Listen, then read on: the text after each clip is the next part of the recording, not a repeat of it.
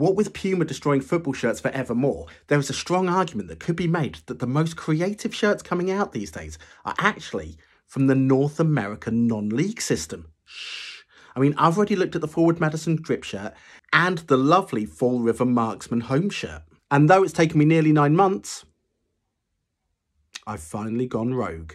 As in this video, I chat shirt about the 2021 Inaria Providence City Death by Paisley kit. Providence City FC are based in Providence in Rhode Island and play in the BSSL and were set up in 2015. And in those six years, they've already become quite synonymous with inventive kits. A lot of people going nuts for the Hammer kit.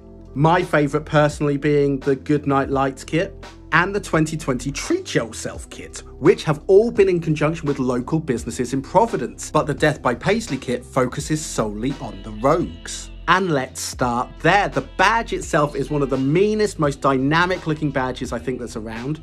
Obviously, the skull and crossbones links to the kind of maritime New England feel. Heat pressed on here, which is a super nice touch. Now, this is called Death by Paisley, which obviously refers to the sleeves. Manchester City had a Paisley kit this year that split opinion, but for me, this one works brilliantly. The design featuring skulls, clubs, the PVD standing for Providence, and little rogue text in there as well. The PVD also featuring at the top of the back with some crossed swords. Also loving that breathable back, by the way.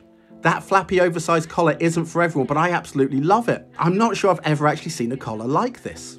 For me, this shirt highlights why I wasn't really a big fan of the Club America third shirt. The Club America third shirt is a touch too impersonal, like I said in my review of it. Those symbols on it feel a touch generic. Whereas the paisley design on this shirt is unique and bespoke and befitting of Providence City FC. And that's the testament to how good Inaria is as a manufacturer. That their relationship with Providence City allows for this kind of customizable, wonderful design.